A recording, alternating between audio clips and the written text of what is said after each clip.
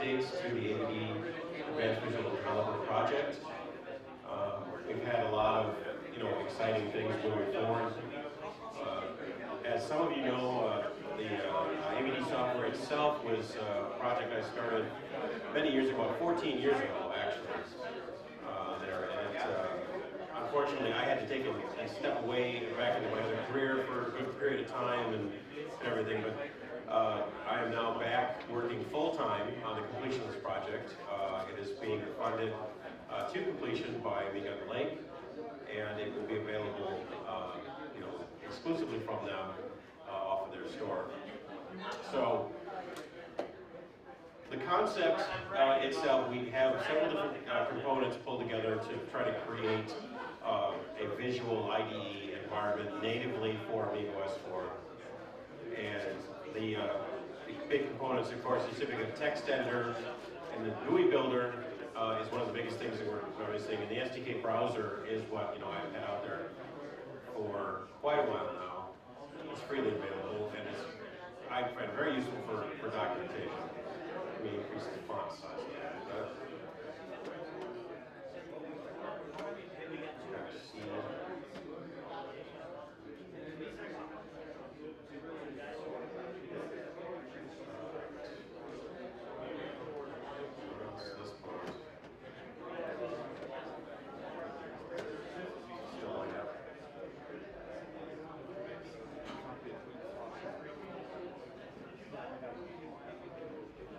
bit. so um, part of the intention of the software is to really try to get you to work uh, very quickly in the design. Now, I'd love to be able to take and show the, the GUI uh, builder. That was the primary thing I was hoping to take and show at, at the show, but I've been doing so much work on it right up to the last minute that it, the, the current state of it is, is you know, kind of half completed. I was working on implementing uh, nearly a thousand uh, tags for all of the graphical objects it's not quite ready to run. So um, I may show you a, a little bit of the earl, earlier, earlier version, but essentially uh, this is what we have right now. So uh, AVD allows you to take and work and in developing software to target either uh, C uh, source or a uh, actual interpreted script, uh, which I call GUI bits as a runtime interpreter so the idea is that you can rapidly prototype uh, your applications and you know, get something put together very quickly. Let me let me see if I can uh, run the old 14-year-old version here of the GUI Builder and uh, show you. oh, of course, it's still the same one. Uh, all right, so I'll just quit the old GUI Builder or the new one rather, that I can't show much of, and I'll try to run the old one. There we go, okay. So let's get our pieces out of the way a little bit. So I'll get the text editor and uh, the SDK browser out of the way. And this is a very old version. As you can kind of see when I had the initial version up there, that you've got toolbars have been added for your gadgets. Uh, there is support uh, those are those are just straight uh, uh PNG files in a, uh, a subdirectory uh, under you know for the given size. So those those icons are all replaceable with different images. Right now, I'm using a set out of the the toolbar images that come stock with OS 4 and uh, but they they are on higher resolutions. They're they're a little smaller. They were they were really originally designed for you know, like a 1024 by 768 or, or 800 by 600 display. And, you know, so we definitely intend to use uh, some newer uh, icons for all of that stuff. So the, the GUI builder uh, component here was, allows you to take and get right into it. So if I wanted to take and create an interface with uh, a button on it, I could just pick from my list and say I want a button. And that gives me an, an interface and a window and a first button uh, to take and actually you know, see what it's doing. Now, due to a, a, a, very old bug in this version, I have to create another sub-window and move that out of the way in order for this uh, tree view to appear. So that's, that has been solved a long time ago, but this is the only runnable version I have with me, so bear with the little mistakes. Um, so you want creating an interface you can do very, very quickly uh, with uh, the different uh, controls. So pick from whatever you want. Another button, I want six more buttons, doesn't matter. On there dynamically. It's, it's building the interface using live components uh, as you go. So this is not uh, you know a mock-up of it at all. Uh, you can take and navigate through. I can you know, you can set just the this this very very old version. I can only set just initial properties like uh, you know I can I can change the, the name of the button and you know, I can navigate and move around. So if I wanted to create an interface, uh, let's. I'll remove these guys out here. They wanted to create something like a, uh, uh, a wizard tool of some kind. So this now I'm back to, I've emptied the, the whole window, I'm back to just uh, root, base, and for a wizard tool I'm going to want like to start out with a vertical group here that you got already. And then I want something like a, a text display. Uh, so I could go with, uh, let's see, I'll use a text editor as a base. And then underneath that, I want to create uh, a row with um, a couple of buttons on the side of it. So I'll create a horizontal group underneath that. And then a button, and then a space, and then a button, and then, you know, you can see that, you know, by default, these guys are growing to you know, their, whatever their, their dimensions allow for the, each size. You would normally take and set the, uh, a property called weight on these gadgets to give them a, a, value. So I want this to be 20%, that to be 80%, whatever. In this particular version, I can use another mechanism within it, which allows you to fix the uh, uh, horizontal or vertical axis down the size. So I click this button, button here, button, that, that would shrink up the horizontal group, I want to leave that one there. But if I go up to the top, this is going to shrink everything. So no, I, I don't really want that, because uh, I just want the buttons. So what I really should have done is create a vertical group, and now I want to move that in there. So I'll take and take this guy and I'll put that into that vertical group. I'll put this, that, this above it, and now I will, oh, I want horizontal, and then I'll tag it down to there. So now you have what you were more looking for like that. And of course, we can put all kinds of other things in here. Or use this as a little test point. It'll show the different gadgets you can create, check boxes, uh, which you know, can expand on there, uh, chooser, add some chooser items to it. So you got that there. These guys. So let's make a, get this a little bit a group. Let's make a vertical group for this chooser for the check boxes, I'll move them down, move them in here. And you can see you can just navigate through. Now you will be able to do stuff like drag and drop and, and, and stuff like that for uh, moving these things around. With this, like I said, 14 year old version, it, it's, it's just limited to uh, keyboard control or using these, these buttons up here. So if I want to move the, uh, this whole layer up, I can do it this way. So now we got the check boxes in that kind of a group. Let's make, you know, press space here and I can change it, the layout horizontal, vertical. And again, you can also use the, the, the scroll wheel to change position. So, so we've got a couple other objects on here. Let's put another uh, vertical group and uh, integer value.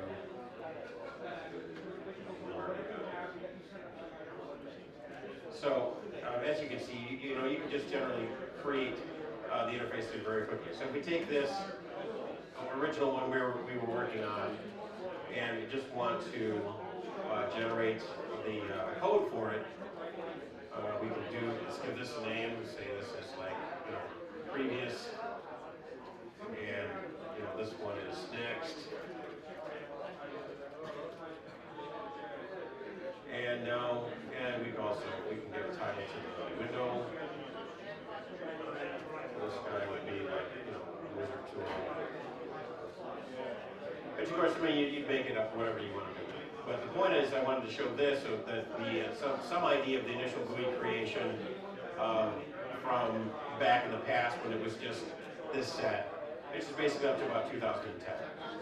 Now the output here, I can just take this interface as I've designed, and I can tell it to go to build and say, export this as a GUI bits project.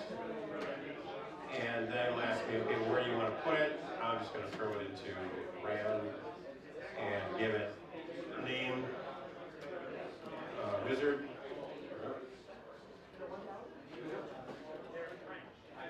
Okay, I guess.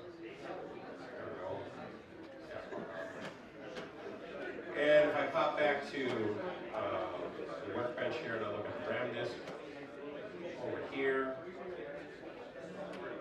There we go. We've got an icon um, that uh, and, and wizard here, and if you look at the information, this guy, the tool for this is the AVD GUI bits program. What the, what it's saved, what it actually looks like, is an XML description of the interface. So if I, I run it, it just created a runnable version of this mess of a program. I got both windows uh, because of that side effect. But again, like I said, this is an extremely old version, but the only one I can show the mechanics of the the moment. So, but this, you know, this interface was created very, very quickly uh, just by saving out as XML. No compile, you know, was necessary, and you know, you're able to run it and interact with it immediately. Uh, we want to take a look at what this is. Let's we go back to let's go back to the uh, oh, this project over here, and hotkeys are different. Think. Oh no, there's the SDK browser that work. Um, and we'll take it. We can use that. All right, drag. You're not going to be able to see that, so normally I drag the screen do that. So.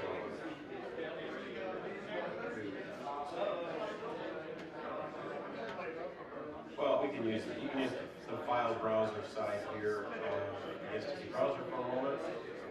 RAM disk. Okay, switch to that path, and we'll take a look at Wizard. And go to here. Yeah, it's a little bit off for people on so we'll move this, you can see it.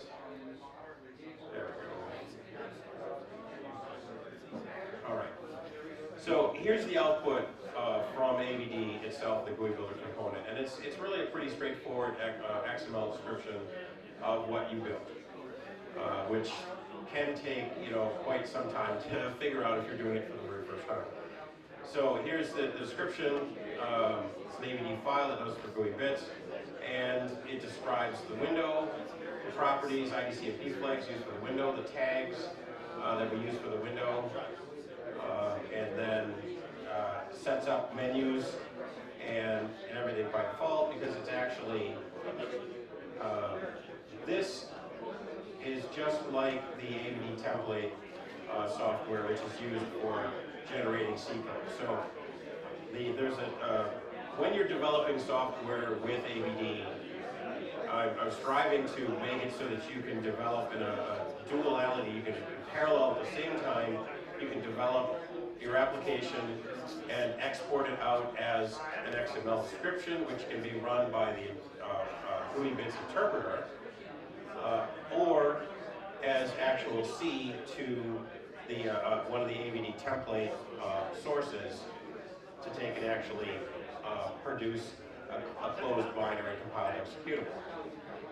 And I, I, would like to be able to take and do all of the same actions and everything on both. Uh, and that's what this is uh, striving to do. So again, this XML, and, and so this, this application is just like the compiled template version. It has No, that's not what it is. Oh yeah, back, I'm looking at the interface itself. There we go. This is the one. Um, it has a menus, up here. The screen is off on the moment.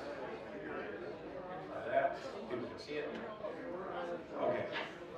Click on there. Our application has a set of, uh, you know, uh, ready to use uh, stuff, allowing it to be hidden, iconified. The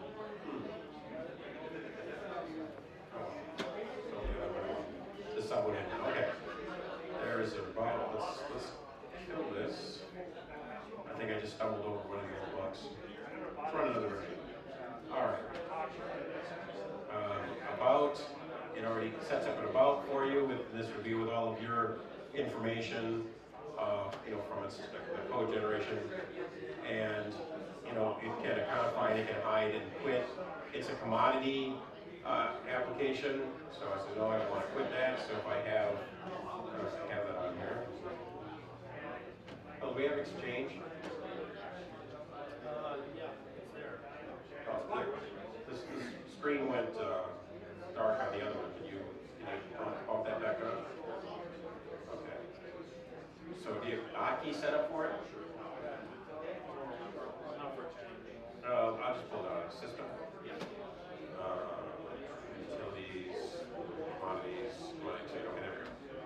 There we go, so here we can see that, uh, I've got a couple of them running here, so I'll, uh, remove this one.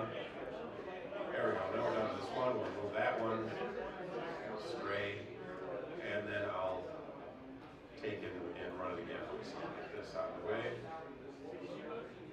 Right. There we go. And our two windows came up because that's what we designed in the interface is two windows. And there it is as a commodity. Version number, that's from old generation, so that's the version number, everything, all that stuff would show up.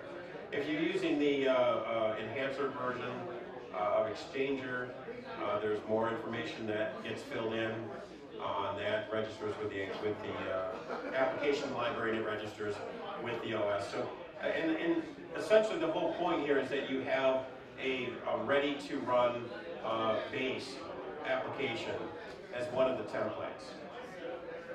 And you can just, you know, design an interface, export it to that, and compile and run in C, or just run directly if it's interpreted.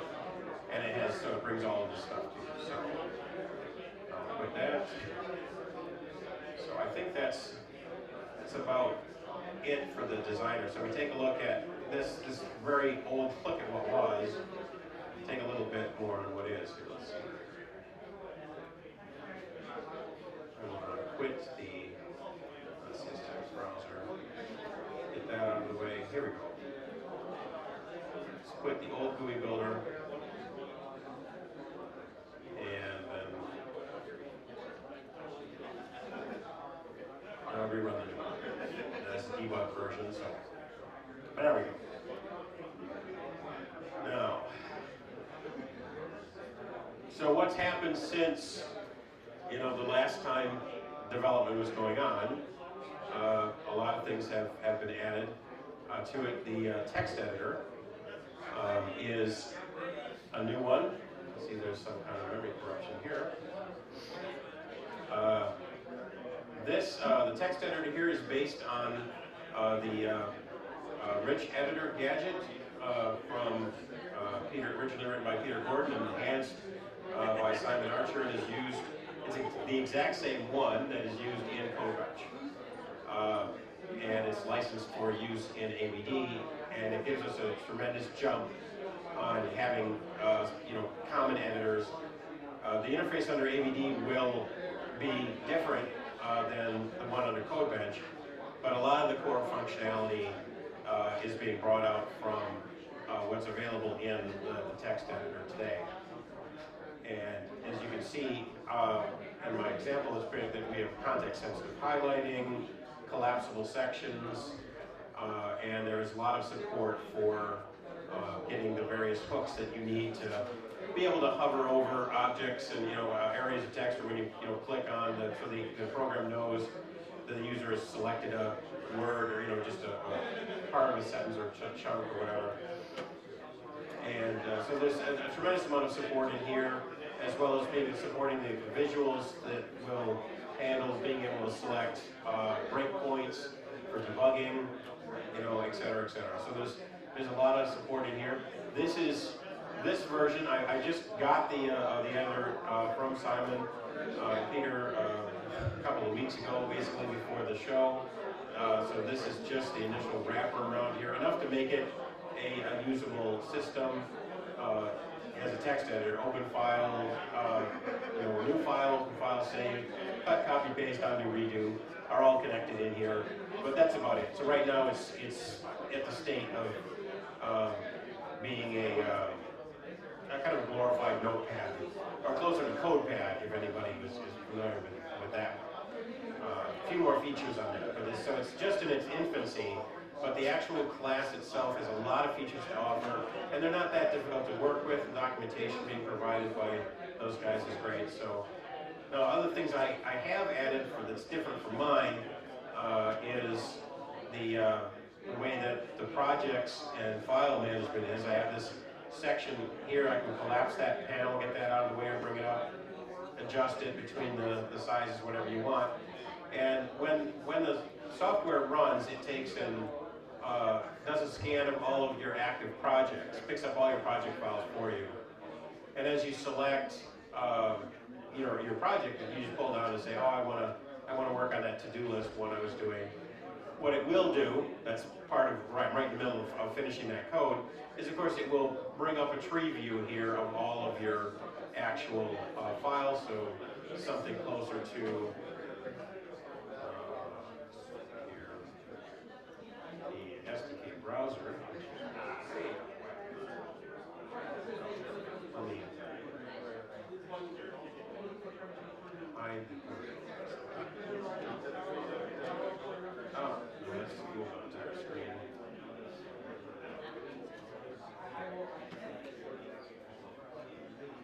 Get that out of the way, get that out of the way. There we go, now I can bring this down, or back up. Kind of difficult to work with it when you're trying to fit it within the view of what this camera can see here, but there we go. Let me shrink it up some. Now I can bring it over here.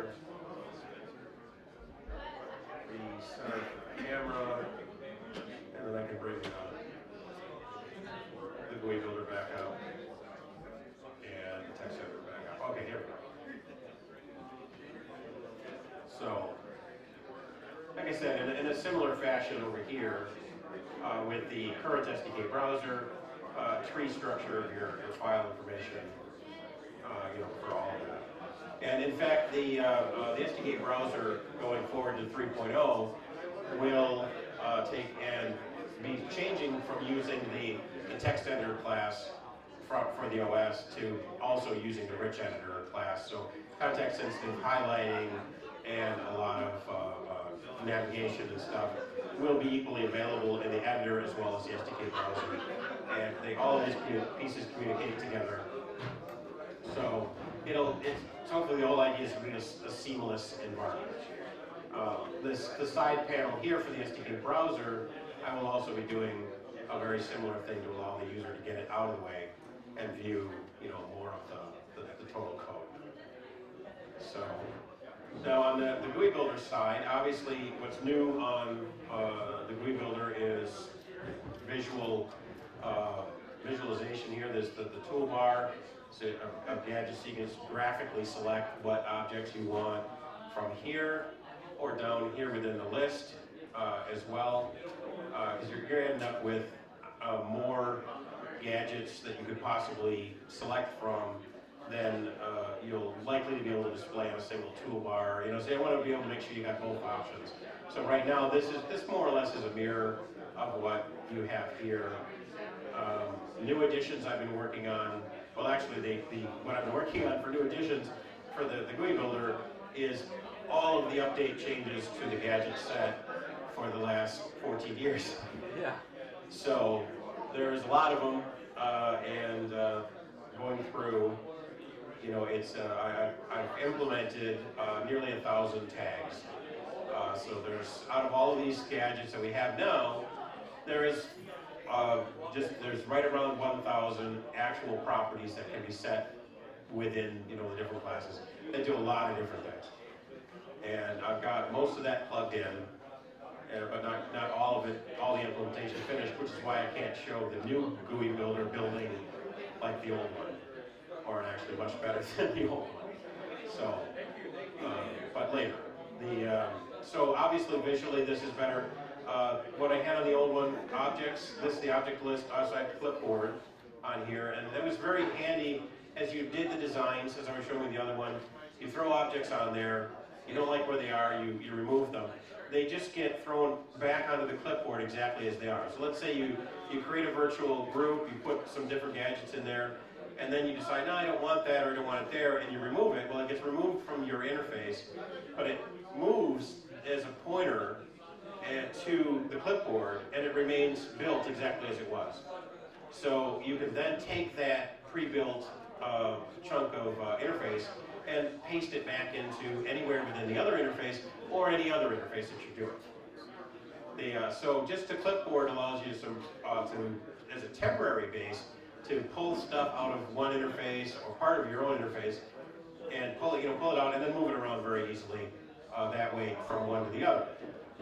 In addition to that now, with the new uh, uh, GUI builder, I've added a, uh, a new tab on here, a new concept called modules. Now modules are essentially segments of pre-created design. So exactly the same thing that you might do with the clipboard. I've designed an interface part, I didn't like what I had, I clicked it. Well, you could also now take and say, I, I built an interface up to this point, including the actions, setting actions for the buttons and any scripting attachments and stuff. And then you can say, I want to save this as a module. And you give it a name and it puts it into the modules. And again, it's just an, it's just XML description of that much of the code, but it understands that it's a piece, a module that you can reuse. And so you'll end up collecting a library of pre-created objects and sets. So like that wizard tool I was, you know, roughly throwing together on the old one, you can create that wizard tool, layout, say this, I want to use this again and again and again, so I'll just make it a module, and it'll be in my library of pre-created stuff, so I can just grab it and throw it into anything else. Now, the other thing is, uh, um, I can't really demonstrate it on here, unfortunately, but you can, e uh, very easily import existing uh, interfaces and programs into the active work. So as you're designing an interface, uh, you've got your layouts going on there, and you say, oh, well, I, I have, I did something like this before in my other project. All you can just simply, uh, what I commonly do is I just go, I find that project file, I drag and drop it right into AVD, and it imports the entire interface. So now you've got the one you were working on and a, a, full copy of another one you've done before. Then you can just highlight on that one, pull sections out of it, put it into the new one, and then just tell it to kill that. You know, because it's all just temporary. So, um, the object list clipboards modules. This modules, I also plan to extend this so that you will have a, uh, a network, a cloud connection of for the, the library of these pre-created subprograms or interface designs so that you can decide, hey, I want to push this up for other people to use, and then you can go up and say, well, what have other people done?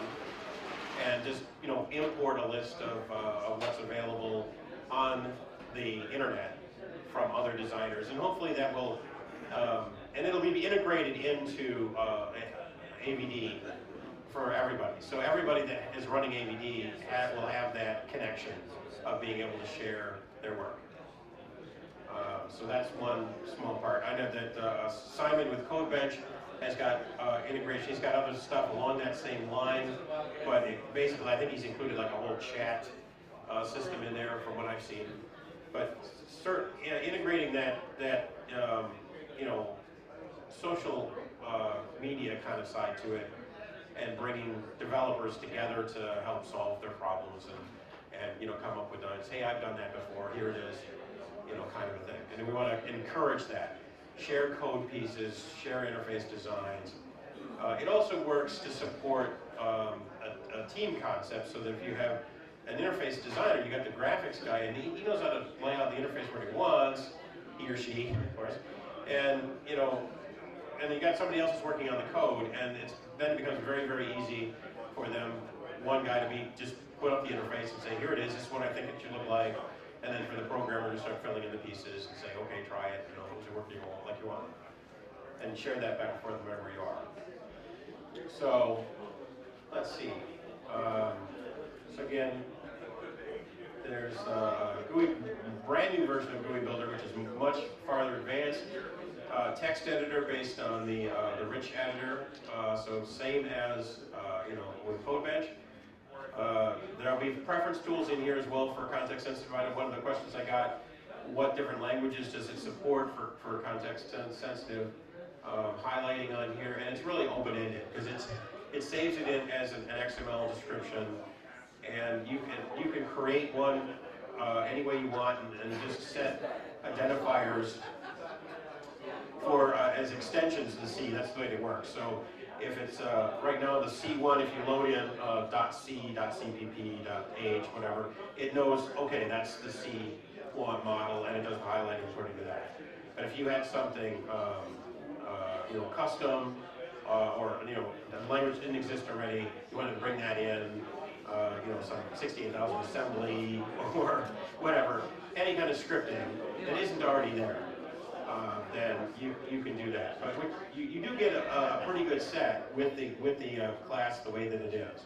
Uh, handling uh, C, ARexx, PHP, uh, Python, and you know, so there's lots of examples.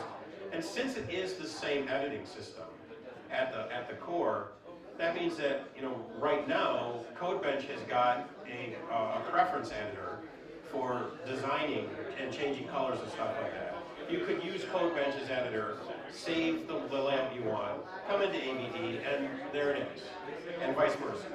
Right now, I don't, you know, have the tools designed for it, because uh, I've just got this, but of course, it will be fully integrated in AVD as well, and it'll give you the options. So it's, it really is nice to be able to jump back and forth between the two editing environments.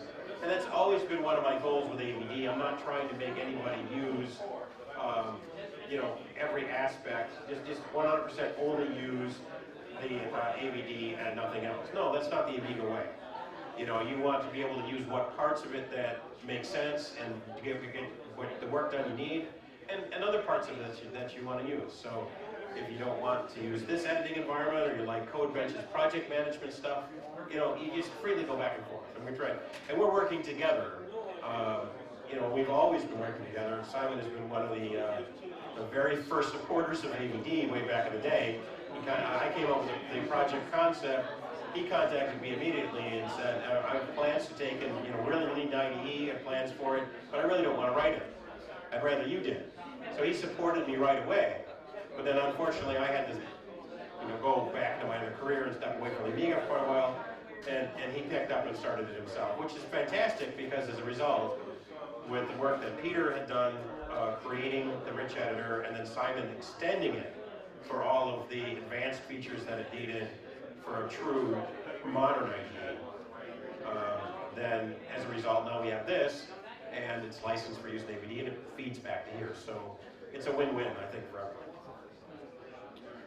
So uh, again, as I say, there's lots of changes uh, that are coming for the SDK browser as well uh, that will just further integrate the, the whole thing. Now, so we have the uh, we have the GUI builder, we have the text editor, we've got the SDK browser for documentation.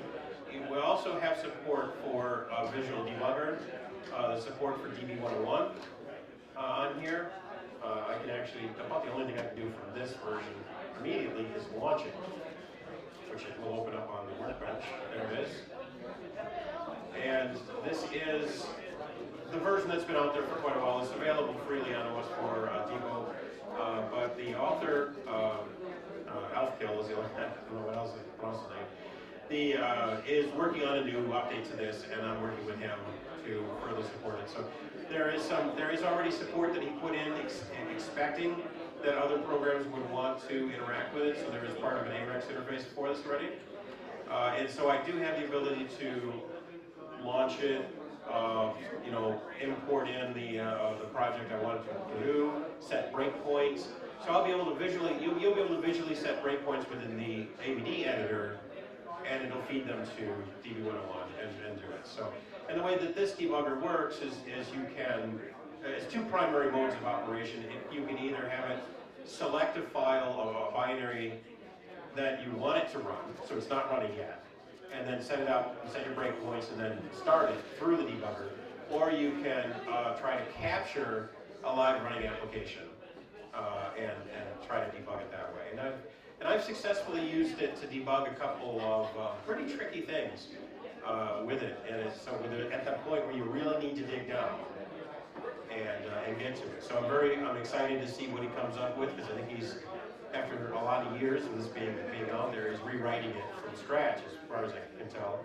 There's a lot of things he was, always said, don't use it, don't, you know, don't put it in this one yet. It's like, you know, it's out there, I gotta, it's, you know, same thing as any developer. Oh, don't use the old one, it's crap, the, the new one's so much better. Just ignore this one. It's like, but the old one works. so, anyway, so there, it kind of completes the package, uh, of course, of what was always intended with, with AVD. So, again, key points, uh, simultaneous development of C code uh, applications uh, by uh, templates uh, as, a, as a target. That's the primary thing. The idea of giving you a launching platform. Yes, you can start a project completely from scratch, bring in your files, do, do editing, use it as a general IDE. But if you want to jump right into an existing application that compiles and runs, is a commodity, registers the application with the operating system, uh, to just, which is primarily just to allow the user to control it a little more from the outside, see that it's running. You know, it's not anything, you know, as, as dark and hideous as the uh, registry concept on other systems. It's a very lightweight thing.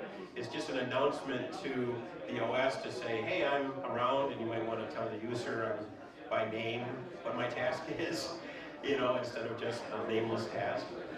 And, and things like that. Nice little, nice little items. And it does have uh, extend other capabilities as well.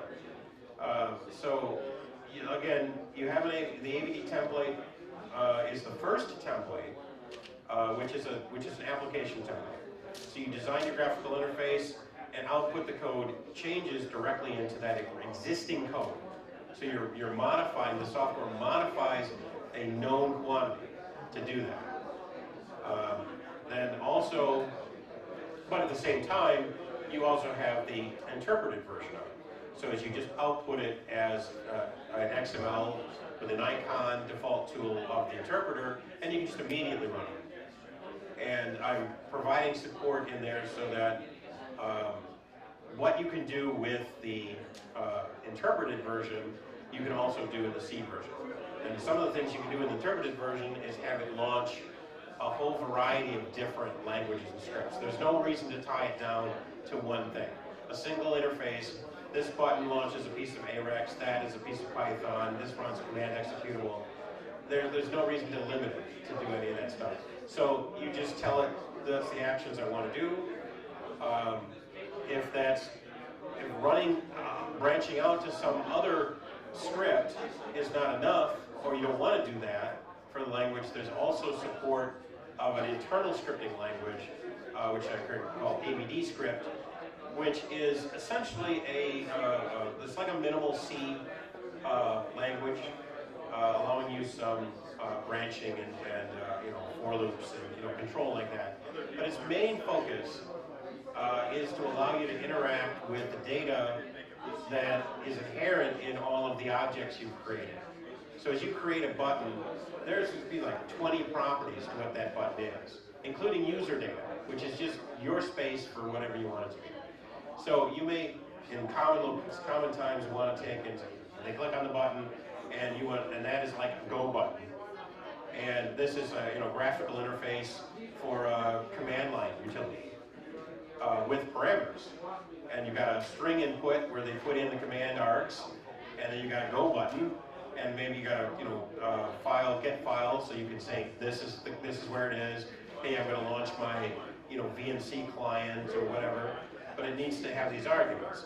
So that as you hit the go button, it has those steps to say, let me go to the string gadget, get that string, and put it together with the name I got from the get file, and now I know this is the guy, and I also know that I'm supposed to launch it as uh, a CLI command, and then it goes. So you can do all of that with the internal scripting without jumping outside of it.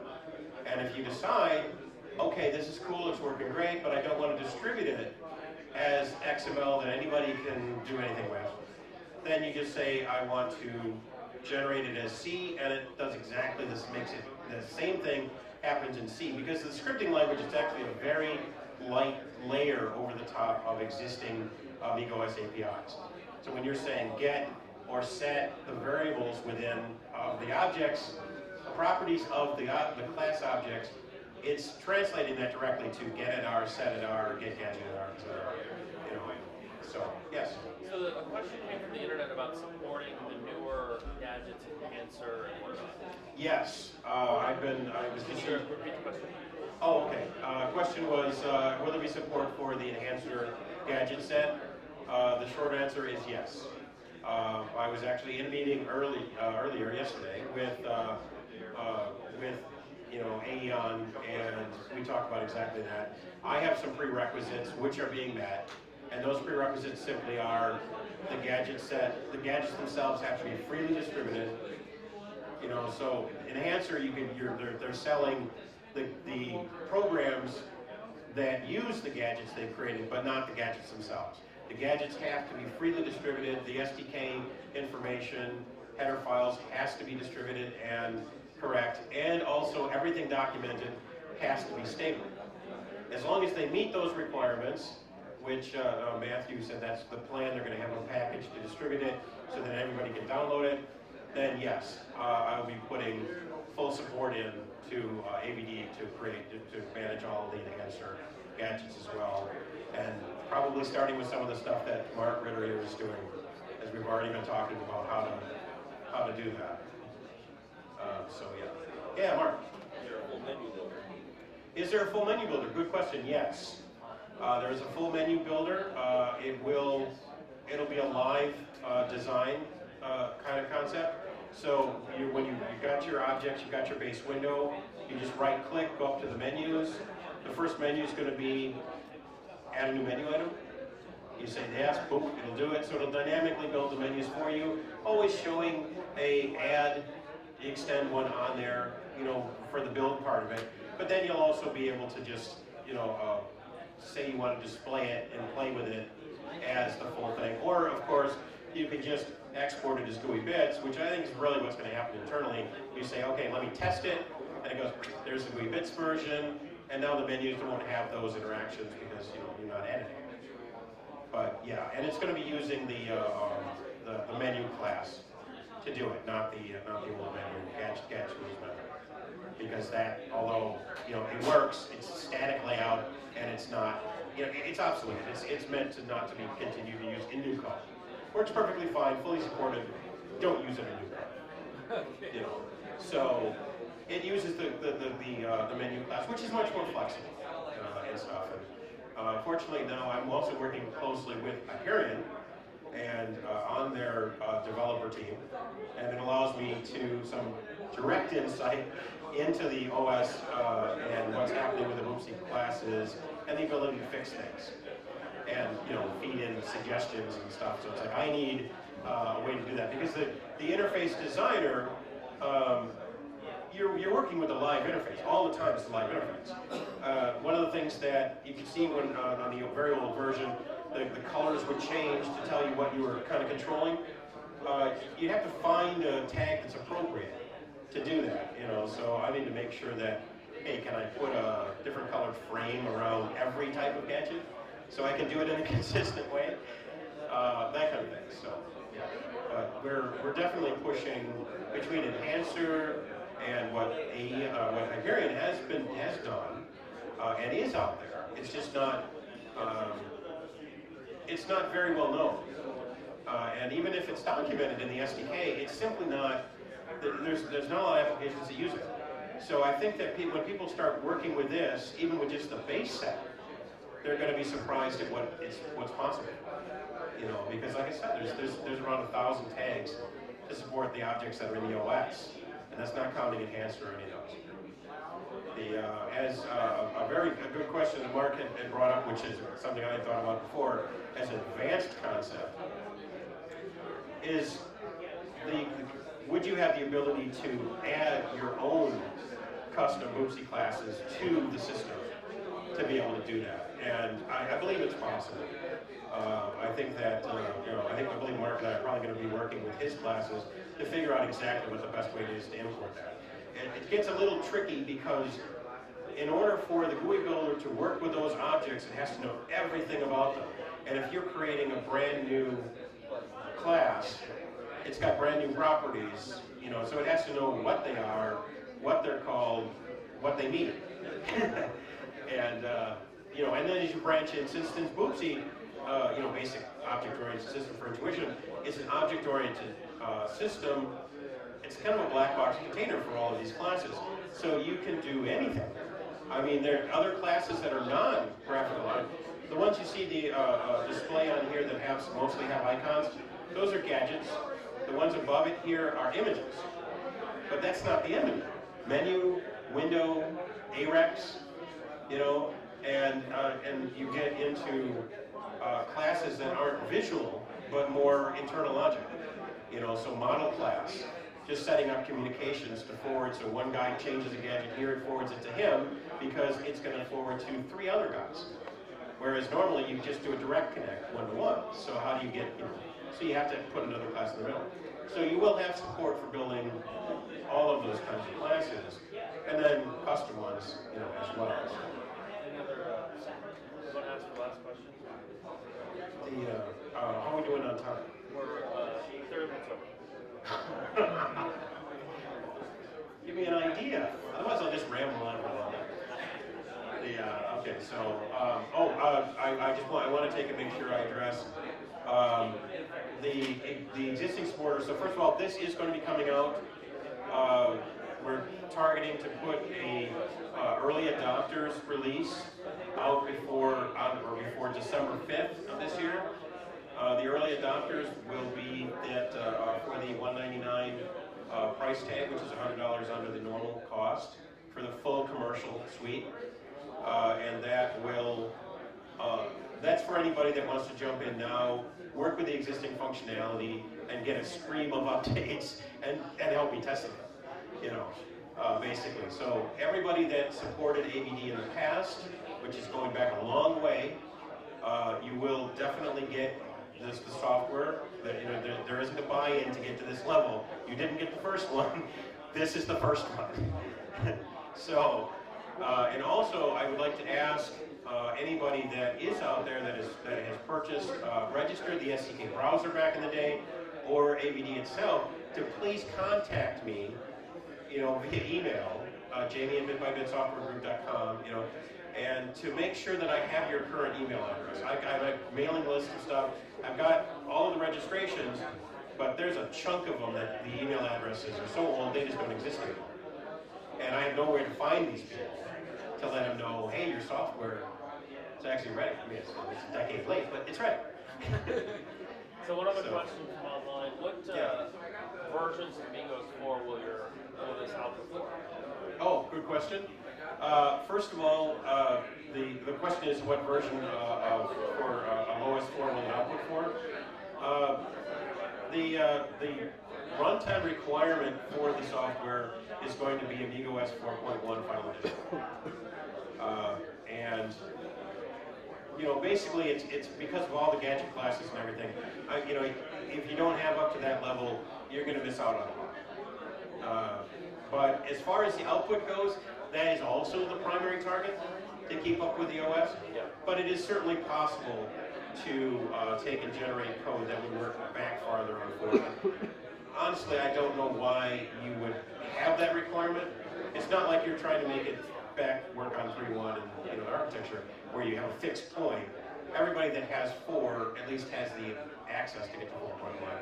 So, uh, but the original template target was 4.0 compatible, and I can check it. I mean, it's, it's certainly possible that it might uh, be able to 4.1. But again, you're going to run into, well, you can't do this tag, you can't do that tag, and I, I, I don't have the time at this point to put a versioning system in and allow you to target one or the other. If it really, if it really becomes something that people have got a solid reason to do, then I'm certainly willing to, to consider it. You know, I, I, I didn't want to take it. The last thing I wanted to make sure to, to talk about for in terms of people who have supported in the past, free AVD.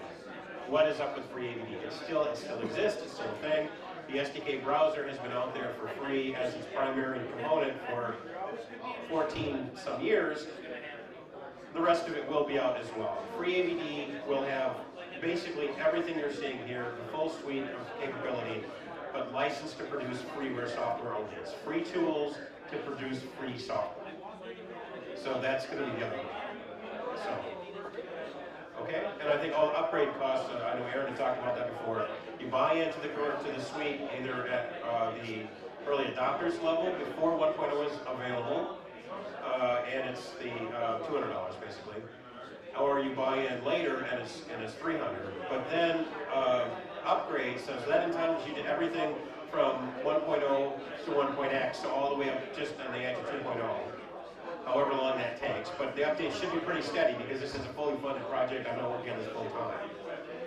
Uh, and but when you then jump to the next major version, you can expect an upgrade cost of about 20% of the actual retail cost at that time, which should which should be pretty steady. So you'll figure about 20% of that that $300 mark. So. And uh, I think that's about it for me. If you have still stop for any other questions. Yes, sir. For somebody that's a beginning programmer, maybe purchased Hollywood to tinker with, will this work with Hollywood uh, scripting language at all? Oh, the question is, will this, uh, will work with Hollywood at all?